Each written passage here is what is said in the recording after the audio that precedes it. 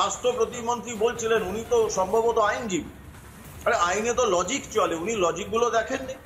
যেখানে তো পরিষ্কার বলা হচ্ছে, ভাই সব থেকে বেশি অভিযোগ যাদের দুটো, একটা পুলিশ এবং তার ওপরে রয়েছেন বিনীত গোয়েল এবং সেখানে পুলিশকে বারবার ক্রিটিসাইজ করেছে, সুপ্রিম কোর্ট ক্রিটিসাইজ করেছে। সারা বাংলার মানুষ ছেড়ে দিন।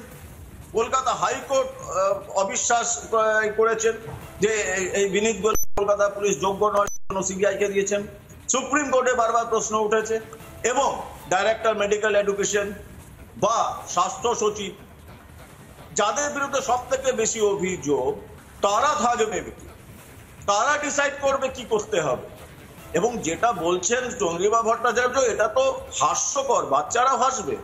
খোলা মনে মিটিং ওখানে কি কাল দুর্গাপুজোয় কোথায় কে চোখ আঁকবে বা কোন কবিতা বেরোবে, এই আলোচনা করতে যাচ্ছে। ডাক্তাররা জুনিয়র ডাক্তাররা না কি দীপাঞ্জন পাগল? বাবু সারা খোলা বাংলার মন মানুষ বলতে তাহলে পাগল? কি বোঝানো হয়েছে মানে একটা সাধারণ মানুষ খোলা হিসাবে মন মানে- আলোচনা তো খোলা মনেই হয় পরিষ্কার বক্তব্য তো সামনে রাখা হয় মন তো আর ঢেকে রেখে কথা বলা হয় না नीरा सफेद तुरंत खुले भरपूर झाग दे और इसकी स्मार्ट साइंस दे स्मार्ट केयर और फ्रेशनेस मेरी चॉइस मेरा सफेद না না, খোলা মন মানে ওরা ভাবছে যে পুজো এবার আবার একটা কোন ওই ড্যাং ড্যাং, আমরা সবাই কোলা ব্যাং এই সমস্ত কবিতা হবে বা হাততালি দিয়ে তালি বাজিয়ে বাজিয়ে গান গাওয়া হবে, সেটা খোলা মনের আলোচনা। সেটা সম্ভব নয়। লেটস কল আ স্পেড আ স্পেড যে দাবিগুলো নিয়ে ডাক্তাররা বসেছেন, সেটা খোলা মনের দাবি। ওখানে কেউ নিজের গল্প গুজব করতে যাচ্ছে না। এটা সারা বাংলার নয়, সারা ভারতবর্ষের, সারা বিশ্বের দাবি। এখন যে কথাটা তোমরা বললে, তোমাদের প্যাকেজে শুনছিলাম যে মচকাচ্ছে তবু ভাঙছে না। আমি বলছি ভাঙবে ভাঙছে তবুও মচকাবে না। এবং এই জনগণ কিন্তু এই মচকিয়ে ছাড়বে। এখনও যদি এরা ওই দেওয়ালের লেখন পড়তে না পারে তাহলে চশমা আনুন। এই ডাক্তারদের মনে হয় অনেক অক্ষি বিশেষজ্ঞ চোখে বেশ। বিশেষজ্ঞ রয়েছেন তাদের দেখান।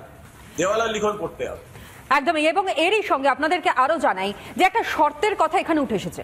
এই যে দড়ি টানাটানি চলছে টাগ অফ চলছে একদিকে রাজ্য এবং অন্যদিকে আন্দোলনকারীরা, যেখানে স্পষ্ট কথা রাজ্যের তরফ থেকে গতকাল বলা হয়েছে যে শর্ত নাকি রাখা হচ্ছে এবং কোনো শর্ত নয়, খোলা মনে আলোচনা দরকার। কিন্তু কি শর্ত? রাজ্যের তরফ থেকে কি কোনো শর্ত দেওয়া হয়নি?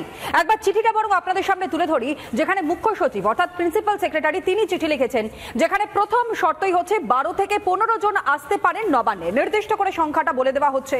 আর এখানেই প্রশ্ন, এটা কি শর্ত নয়? আলোচনার জন্য প্রস্তুত রয়েছে সরকার। তবে ওই যে নির্দিষ্ট করে সংখ্যা বলা, এবং দশই সেপ্টেম্বর বিকেল পাঁচটার মধ্যে জুনিয়র ডাক্তারদের কাজে যোগ দিতেও নির্দেশে দেওয়া হয় সুপ্রিম কোর্ট দেয়। আইন মান্যকারী হিসেবে প্রত্যেকের উচিত সুপ্রিম কোর্টের নির্দেশে পালন করা, এবং সেই সুপ্রিম কোর্টের নির্দেশ যে চিকিৎসকেরা তারা পালন করবেন না, সে কথাও কিন্তু চিকিৎসকেরা তারা বলেননি, শুধু একটাই কথা বলেছেন, তাদের দাবি দাওয়া মেনে নেওয়া হোক। দুর্ভাগ্যজনকভাবে, যেটা এখনও পর্যন্ত দেখা যায়নি, আশা করি শুভবুদ্ধির উদয় হবে সুপ্রিম কোর্টের নির্দেশ অনুযায়ী আপনারা দ্রুত কাজে যোগ দেবেন। কাজে যোগ দিলে আপনাদের সব সুবিধা, অসুবিধার খেয়াল রাখবে রাজ্য। নিশ্চয়ই আপনারা পয়েন্ট আউট করছেন, কাজে যোগ দিলে তার মানে এখানেও আর একটা শর্ত। আপনাদের সব সুযোগ সুবিধা, অসুবিধা এবং খেয়াল রাখবে সেই সমস্ত কিছু রাজ্য। গতকালও আলোচনার আহ্বান জানিয়েছিলাম, আপনারা সম্মত হননি। আপনারা আবারও আলোচনার আহ্বান জানাচ্ছি, অর্থাৎ মনোজ পান্ত মুখ্য সচিব প্রিন্সিপাল সেক্রেটারি, তিনি এই বক্তব্য রেখেছেন। ঝন্টুবাবু, এখান থেকে আসি। রাজ্য সরকার বলছে, চন্দ্রিমা ভট্টাচার্য, রাজ্যের স্বাস্থ্য প্রতিমন্ত্রী। তিনি বলছেন যে শর্ত রেখে আলোচনা নয়, খোলা মনে আলোচনা হোক। শর্ত কি তাহলে রাজ্য রাখেন?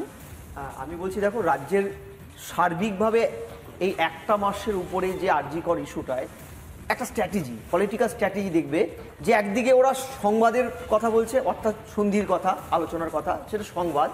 আরেকদিকে সন্ত্রাস চলছে, শাসক দলের। কালো এত কিছু বলার মুখ্যমন্ত্রী বলেছে, আমি ছাড়া কেউ কথা বলবে না। আরজিকর ইস্যুতে কোনো মন্ত্রী, বিধায়ক চুরিপুটি বড়পুটি কেউ না। অথচ দেখো হুমকি কবির। হুমকি কবির হুমকি দিয়েছেন আবার। তারপরে কোনো একজন কাউন্সিলর আমি বলছি যে সংবাদ করতে চাইছেন উনি, আবার শর্ত চাপাচ্ছেন, আবার সন্ত্রাস করছেন, এইটা কিন্তু একটা কৌশল। উস্কে দিচ্ছেন, ক্র্যাশ আনছেন, ডাক্তারদের বিরুদ্ধে লেলিয়ে দিচ্ছেন। যে তৃণমূল নেত্রী চোদ্দ বছর ধরে যে লেলানোর রাজনীতিটা করে, কখন শিক্ষকদের উপরে, তোমাদের সংবাদপত্রের উপরে লেলিয়ে দেয়।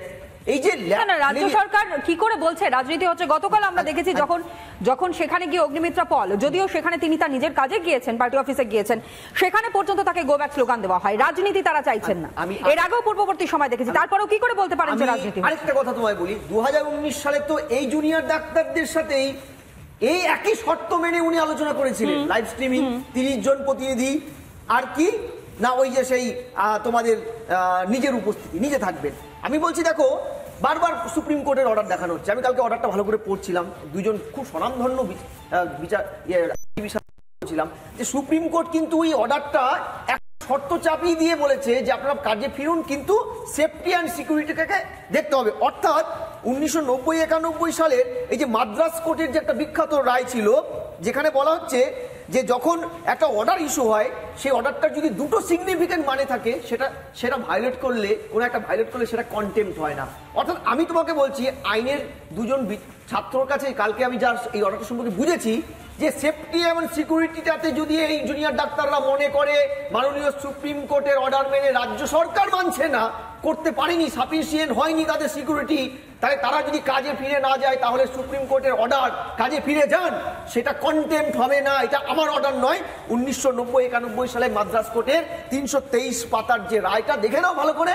ফলে রাজ্য সরকার এখানেও বিভ্রান্তিকর মিথ্যে কথা বলছে। চন্দ্রিমা ভট্টাচার্য এবং মমতা ব্যানার্জি নিজে। এটা কিন্তু কন্টেম্প করছে না। চ্যালেঞ্জ হলে তোমরা দেখে নেবে এই সুপ্রিম কোর্টই বলবে না, মিথ্যাচার হয়েছে সেটা তো একেবারে স্পষ্ট। যে বক্তব্য বা যে মেল যায় সেখানে স্পষ্ট করে কোথাও উল্লেখ ছিল না যে মুখ্যমন্ত্রী মমতা বন্দ্যোপাধ্যায় তিনি নবান্নে সাড়ে সাতটা পর্যন্ত বসে রয়েছেন। কোনো জায়গায় মেনশন করা ছিল না। ছিল না। এবং যে কপি অর্থাৎ মেলের যে প্রতিলিপি তাও পর্যন্ত সংবাদ মাধ্যমের সামনে কিন্তু আন্দোলনরত চিকিৎসকেরা আনেন। কিন্তু এখানে আলোচনা আমি যাব। দীপাঞ্জন বাবু হাত তুলেছেন কিন্তু দীপাঞ্জন বাবুর কাছে যাওয়ার আগে আপনাদেরকে একটু দেখাই। যে যে চারটে শর্ত, অর্থাৎ গতকাল যে বিষয়টা নিয়ে প্রশ্ন তুলেছেন সরকারি তরফ থেকে, অর্থাৎ একদিকে প্রিন্সিপাল সেক্রেটারি, অন্যদিকে ডিজিকে সঙ্গে নিয়ে রাজ্যের শিক্ষা স্বাস্থ্য প্রতিমন্ত্রী, তার আগে শর্তটা আপনাদের সামনে তুলে ধরি। দেখুন, যেখানে চারটে শর্তের মধ্যে বলা হয়েছে, বৈঠকে থাকবে অন্তত তিরিশ জনের প্রতিনিধি দল। এটা আন্দোলনরত চিকিৎসকদের শর্ত। নবান্নের বৈঠকে সরাসরি সম্প্রচার করতে হবে, অর্থাৎ কোনো রকমের কোনো লুকোচুরি নয়।